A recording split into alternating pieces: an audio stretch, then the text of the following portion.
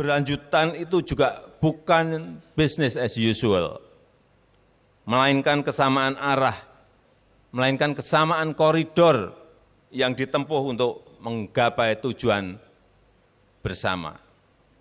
Saya sering menyampaikan jika diibaratkan berganti pemimpin itu, silahkan.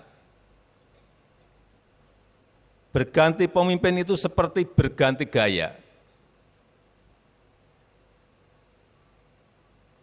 Mungkin hari ini bisa bergaya dangdut, ke depan pemimpin berikut bisa bergaya jazz, bisa bergaya rock, bisa bergaya koplo, bisa bergaya keroncong, R&B, dan lain-lain.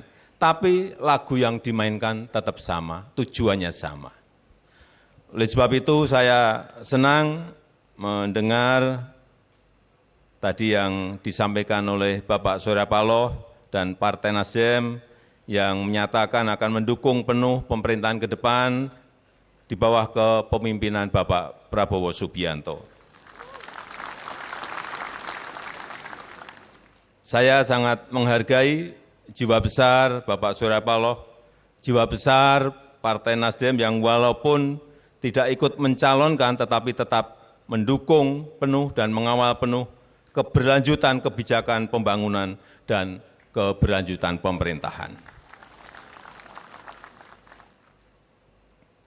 Biasanya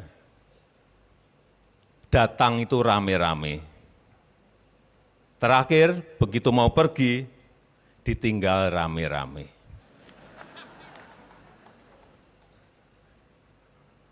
Tapi saya yakin itu tidak dengan Bapak Surya Paloh. Tidak dengan Bang Surya, dan tidak juga dengan Nasdem. Saya rasa itu yang ingin saya sampaikan dan dengan mengucap Bismillahirrahmanirrahim, Kongres ketiga Partai Nasional Demokrat, saya buka malam hari ini. Terima kasih. Wassalamualaikum warahmatullahi wabarakatuh. Baik, kami mengundang Ketua Umum Partai